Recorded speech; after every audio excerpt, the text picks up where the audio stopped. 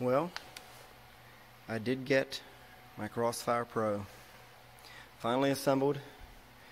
Finally had the time to cut a couple pieces.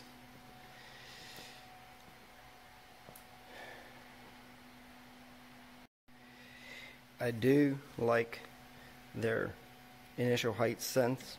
That is an incredible improvement over, so you can see over here, I had these sensors on my original Crossfire and they work great until you get them very hot, piercing um, thick steel. So I would have to replace them every once in a while. This is going to be a much more robust way of sensing initial pierce heights.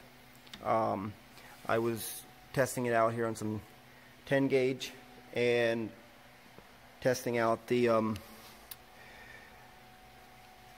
the torch height control. As you can see this particular sheet is very bent and warped which is just what I needed to cut out some of these wire tray splices.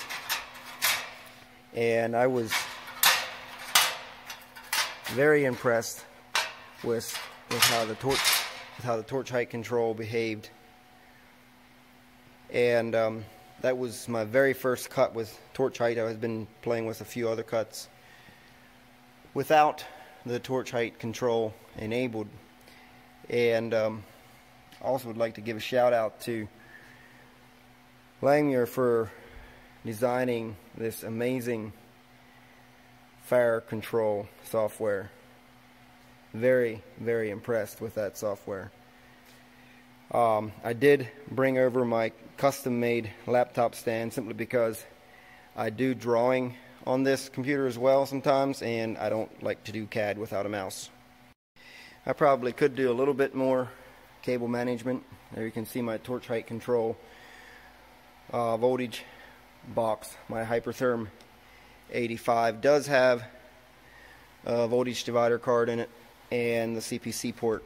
So over here you see power coming to it um, and my mounted an outlet right there so I can power my box and my laptop.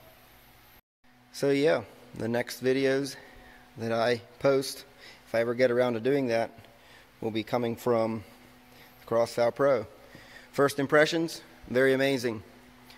I could have probably assembled it in a few hours if I would have not been interrupted as many times I was, but I expect this to be every bit as amazing as machine as the original Crossfire.